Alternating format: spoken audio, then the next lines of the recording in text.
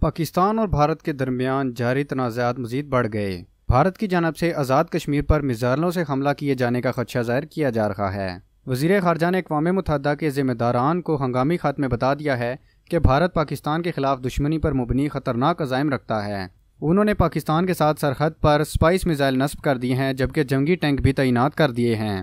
اس بارے میں پاکستان کی جانب سے کیا سخت رد عمل دیا گیا ہے یہ سب جاننے سے پہلے آپ سب سے گزارش ہے۔ کہ ہمارے چینل کو سبسکرائب کر لیں اور ساتھ موجود بیل آئیکن کو بھی پریس کر دیں۔ وزیر خارجہ شاہ محمود قریشی نے اقوام متحدہ کے ذمہ داران کو ہنگامی طور پر خط تحریر کر دیا ہے۔ انہوں نے اقوام متحدہ سے کہا کہ مقبوضہ کشمیر آزاد کشمیر کے لیے اقوام متحدہ اپنے فوجی مبصر گروپ کو مزید فعال کرے۔ وزیر خارجہ نے اقوام متحدہ کو بتایا کہ بھارت پاکستان کے خلاف دشمنی پر مبنی خطرناک عزائم رکھتا ہے۔ بھارت اپنے اندرونی مسائل سے دنیا اور اپنی عوام کی توجہ ہٹانے کے لیے پاکستان کے خلاف جارحانہ عزائم رکھتا ہے۔ بھارت پاکستان کے خلاف جنگ چھیڑنے کے بہانے تلاش کر رہا ہے۔ لائن آف کنٹرول پر بھارت نے ہتھیار پہنچا دیے ہیں۔ بھارت نے سرحد پر براہموس اور اسپائس میزائل نصب کر دیے ہیں، جبکہ جنگی ٹینک بھی تعینات کر رکھے ہیں۔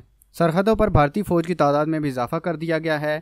اس کے علاوہ بھارت نے لائن آف کنٹرول پر حالیہ کچھ عرصے کے دوران اشتعال انگیز کارروائیوں میں خطرناک حد تک اضافہ کر دیا ہے۔ بھارت کی اشتعال انگیز کارروائیوں کے باعث درجنوں کشمیری اپنی جان کی بازی ہار گئے ہیں۔ وزیر خارجہ نے اقوام متحدہ کو بتایا کہ لائن آف کنٹرول پر بھارتی فوج کی غیر معمولی نقل و حرکت نظر آتی ہے۔ بھارت میزائلوں سے آزاد کشمیر پر حملہ کر سکتا ہے۔ ہم واضح کرنا چاہتے ہیں کہ اگر بھارت نے کوئی جارحہ قدم اٹھایا تو پاکستان اس کا منہ توڑ جواب دے گا۔ پاک فوج لائن آف کنٹرول پر بھارتی جارحیت کا منہ توڑ جواب دینے کے لیے ہر وقت تیار بیٹھی ہے۔ مزید ویڈیوز اور اپڈیٹ سے باخبر رہنے کے لیے ہمارے چینل کو سبسکرائب کر لیں اور ساتھ موجود بیل آئیکن کو بھی پریس کر لیں۔